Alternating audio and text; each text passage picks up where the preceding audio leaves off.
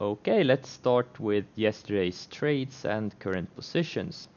So the Dries, I've been talking about this one for a while, and I did trade it. I bought 30,000 shares here in the low twos, 208, 207, and I used uh, 199 as my stop, which was the previous day's close, so it was a very easy stop out.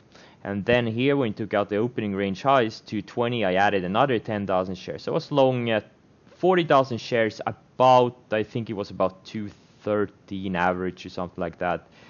So I had a pretty good, decent position. I sold 10,000 shares on the way up to 240s, 250s, 260s. Then I did kind of add up here because I thought this thing was going to go to 3 intraday but I st got stopped out of those adds. I lost about 2,000 on those adds.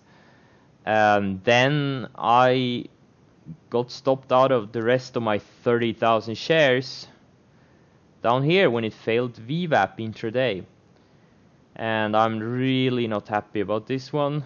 Uh, it did a really big, big shakeout, almost went red. I started building back my position here, late day, couple hours into the close.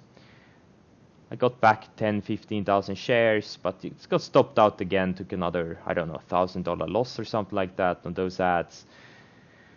And then into the close, this one perked up, and I got back 15,000 shares. and after hours, the PR was kind of expected PR that they they are done with uh, selling the, shares. They've sold I don't know how many million shares, about 20, 30 million shares in the past month or so. And the stock instantly ripped from pretty much 250 to 380. And I had my 15,000 shares, and I probably would have added if I had been on my computer when the PR came out. I could have, I probably would have added 10, 15,000 shares here below 270 but I, I saw it here when I uh, came back to the computer and I instantly sold some and sold some up here. I still have out of those 15,000 I held overnight I still have 10,500 shares. So let's look at the next one. Fannie Mae had it for a couple of days looks good so far. I tightened up my stop to 406 this one is unrelated. ICHR um, tested this uh, range it had for the past two weeks, held very well, and closed inside the range. I think another two, three days of sideways action, and this will be a prime candidate for another breakout towards 20. Ku held up really well it's kind of flagging on the 60 minute chart. If you can go sideways a few more days and then break out, I'm willing to add to it. CNX, I did cover a tiny bit today on this washout. I'm still looking for a breakdown. Now, now another minor stock, this Vail actually broke down today. Uh, sorry, yesterday from this range that I've been talking about. But the CNX held up better Tesla tried to break down. I did cover a tiny bit. Tightened my stop to this 255. And I still think this thing could wash another 5, maybe even 10 bucks before earnings. Goldman Sachs, I tried it. Took a small swing short, but the market uh, firmed up, so I, I just covered it for pretty much break even. I was thinking maybe it can break down this 230 area, maybe, maybe can you know, fade 5 10 bucks. VNR, I got stopped out of it yesterday. My last shares, I got in low 80s, and most of my sells were around this dollar area, so I made about 20 cents average, 25,000 shares. So that was overall close to 5,000 bucks on this trade, which is kind of nice considering I was in half size to begin with. EMES still have it faded intraday just like the day before and then it closed strong so I'm probably gonna use this 1685 area as my stop or maybe 16. Yes, yeah, probably mid high 16s. Okay, let's see. Did I miss it? Yes, YRX is one. I tried it again. I'm 0 for 3 on this one. Thankful I didn't do 50,000 shares like I did last time. It took me two days to get out. Um, again, you know, you see these volume spikes, but none of and these price spikes, but never has followed through. I'm thinking, you know, one of these days this thing is gonna go. Look at the daily chart or the six minute chart. 60 um, low, uh, higher lows all the way. Nice range, you know. One of these days, if it breaks out of this 31, 32 cent area with volume, this thing is gonna go to 50, 70 cents, maybe a dollar or something. You know, this this mainly this one chat room and Twitter account is trying to push it. Uh, some kind of a Trump or security play or whatever. It doesn't really matter. What matters is when the momentum comes, I want to be long. Let's see. This one I'm just stalking. Probably needs to go up another 50 cents a buck and get over a million in volume before I'll be interested. JNOG, still just watching it. Probably needs to build this range for another few days before I'm willing to go long or short. Uh, Goldman Sachs, I'm still watching it. There probably will be no trade on this thing tomorrow, but uh, sorry, today. But um, Vail already broke down. I did not trade it, even though in hindsight maybe I should have shorted the opening range lows. Just held it for a swing trade and maybe covered it high nines or something, but we'll see. POLM now, this was my main watch going into yesterday, but they had an offering in pre-market. I think the offering price was 250, so Oh, not happy about this one. Not happy about it at all. This this this would have been, you know, if this thing. I think it was in the near fours in af in pre-market, and you know this thing could have easily gone to 455 if there was no offering. But yeah, this could have been a nice one. But now I'm just taking off radar. Okay, long setups. Many many things I had in the previous video I removed it I uh, re removed them because they all broke down. These are some of the names that held up nicely. I'm just gonna go through them really really fast. What I'm basically looking for is breakout on volume on all of these charts. This one has a catalyst. They have a deal with Amazon, so you know the volume is pretty good. It's a very thinly traded stock, and now there has been liquidity since this PR and it's just flagging, you know, next leg up this thing could uh, go up two, three bucks, four bucks very fast. Recent IPO needs to shut up. This one I'm just stalking. Looks good. Looks really good. You know, biotech and the market, everything was weak yesterday and this one just held up like a champion. Higher lows and then it has a range here. Really good looking flag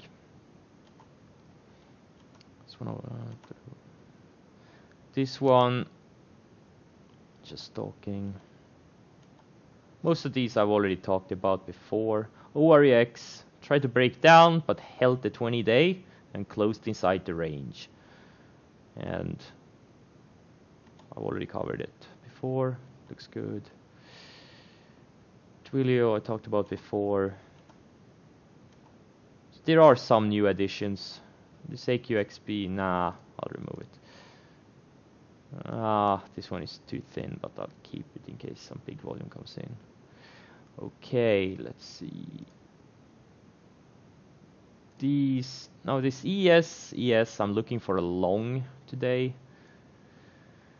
Uh, hopefully it goes sideways for a few more days, but looks good. This big, big volume. The float has traded, I don't know, five, five times or so the past two sessions. So this thing can very easily go to 253 bucks if it gets going. Mm, Kala, you know, this thing had a collaboration PR with Inky, INCY. or Incyte. Uh, big big volume. I think it's the biggest volume this thing has had in its lifetime. Traded its float basically, and you know, I mean, this thing could keep going. I think if it starts taking out this 710, 725 area, uh, if you're willing to hold it for a few months, this thing could get going to 10, 12 or something. Uh, because, yeah, it's a pretty, you know, they got 53 million in upfront, which is basically half their market cap, so the stock was up 50%, so that makes sense, but, you know, can keep going. Arches, yeah, it looks like it's gapping down in pre-market, or no, actually it's kind of on uh, break even. But any pops to like mid sixes or something could be a short. They're basically waiting to price the offering. Dries, uh, I'll be looking to long it intraday again. I, I think this thing can go to low mid, maybe no mid fours, maybe even five bucks or something. It can go and at the end of the day, it's a piece of shit. It's probably gonna fade back to low twos within a week or two. But yeah, if I see a good setup, I'll be I'll be there. UVXY, another trade I did yesterday. I, I kind of chased it. I bought it here when it took out this first um, opening range. Uh, when it took out the opening range highs, basically the first 30 minute candle here. Uh, or actually, it's a 60 minute candle, but the first 60 minute candle is only 30 minutes. Uh, I bought it here, and so it was big chase. Considering I saw it here in the high 25s, so that's when I should have bought it. But I was looking for a dip, which I didn't get, so I bought it here, chased, and I lost like a couple of grand on it. Mags, this is a Mexico wall play they are trying to get in on the Mexican wall. They built uh, a wall in Israel before, so they, they know how to build walls and fences and stuff. And it's just purely up on speculation. They haven't got the deal yet. But these kinds, you know, this thing, you look a couple of weeks from now, it's gonna be at 15 bucks. So i am still looking at it. Um, I did trade it intraday. I, I, took a starter position on dips, but I got stopped out near the in, in the 690s when it broke out late day, and then it just rebounded back. Um, I'm looking to buy it again in the 730s or something. Hopefully, it can go sideways for three, three, five, ten days. And these ones, this one has some kind of PR. These ones, ah, and this is another one had an upgrade. I'm just looking at them. Nothing special. Okay, let's see. PNL. So this is uh, my UVXY trade. I lost, actually lost 2400 on it.